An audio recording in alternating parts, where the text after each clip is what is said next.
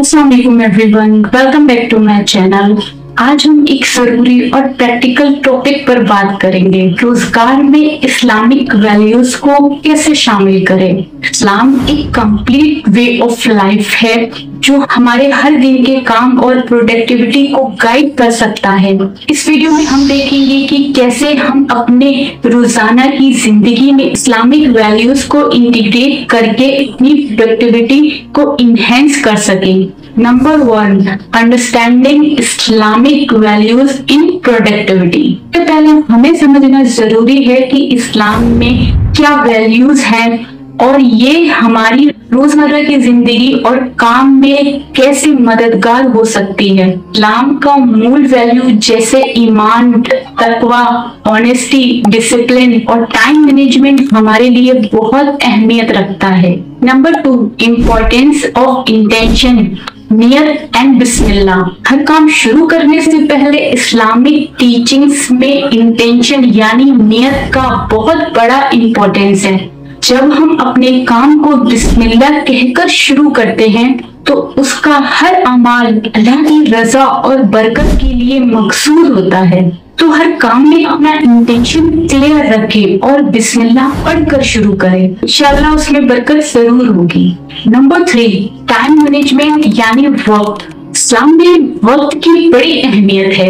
अल्लाह सुबहान तआला ने कुरान में हमें वक्त की अहमियत का इजहार फरमाया है। नमाज़ की पाबंदी, रोज़ाना के कामों को वक्त पर अंजाम देना और अपने वक्त की कीमत को समझना भी इस्लामिक वैल्यूज़ का एक ज़रूरी हिस्सा है।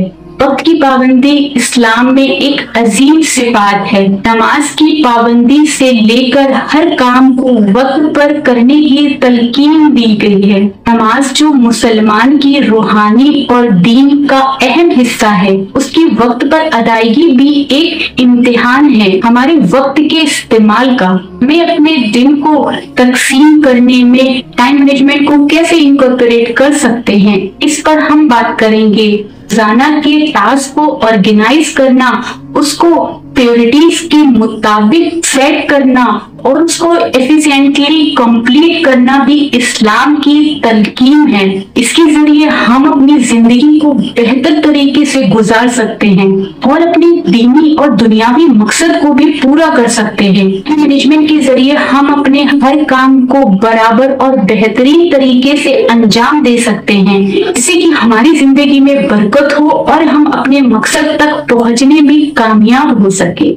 नंबर फोर सीकिंग नॉलेज यानी इल्म इस्लामिक वैल्यूज़ में इल्म हासिल करना भी बहुत ज़रूरी है। हर मुसलमान को अपने रोज़मर्रा की ज़िंदगी में नॉलेज सीखने और अपने स्किल को डेवलप करने के लिए मोटिवेट किया गया है।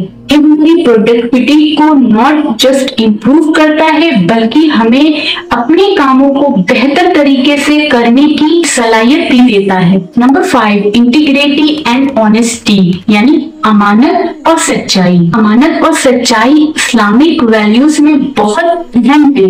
अमानत का मतलब है कि जब कोई चीज़ की ज़िम्मेदारी आप पर आती है तो उसको पूरी सच्चाई और ईमानदारी से अदा करना। जब हम अपने काम में ऑनेस्टी और इंटीग्रिटी रखते हैं तो हम नॉट ओनली अपने काम को इम्प्रूव करते हैं, बल्कि दूसरों के साथ भी एक अच्छे तरीके से डील करते हैं। ऑनेस्टी यानी सच्चाई से मुराद यही है कि हम हमेशा सच बोलते हैं और झूठ से बचते हैं। जब हम दूसरों की अमानत को पूरी तरह से अदा करते हैं तो हम उसकी एक्सपेक्टेशन को पूरा करते हैं और उसके ट्रस्ट को मेंटेन करते हैं।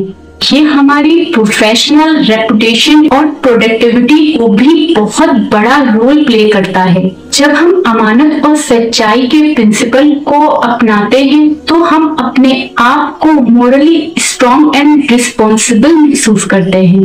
इसके साथ ही लोग हमें इज़्ज़त देते हैं और हमारे साथ बिज़नेस और पर्सनल रिलेशनशिप में भी भरोसा रखते हैं। इस्लामी टीचिंग्स में ये सिफायातें नॉट ओनली इंडिविजुअल के लिए ज़रूरी है, बल्कि सोसाइटी और कम्युनिटी के लिए भी एक स्ट्रॉन्ग फाउंडेशन प्रोवाइड करते हैं। इसी तरह अमानत और सच्चाई के प्रिंसिपल को ज़िंदगी में अमाल करके हम अपने आप को बेहतर इंसान बनाते हैं। और एक अच्छी सोसाइटी का हिस्सा बनाते हैं। Number six reflection and self improvement यानी तदब्बुर एंड तस्किया इस्लामिक वैल्यूज़ के हिसाब से अपनी ज़िंदगी को बार बार रिव्यू करना और अपने अमाल को इम्प्रूव करना भी ज़रूरी है। तदब्बुर रिफ्लेक्शन और तस्किया यानी सेल्फ प्योरिफिकेशन के थ्रू हम अपनी मिस्टेक को समझ सकते हैं और बेहतर इंसान बन सकते हैं। जो कि हमारी प्रोडक्टिविटी और सेल्फ ग्रोथ को भी इनहेंस करता है।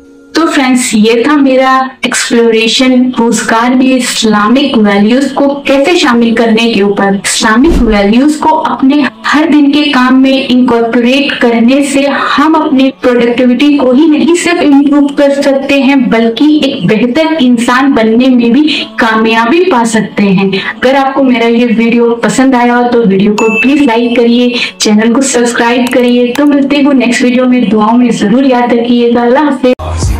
kalbimde Allah'a fikrimde.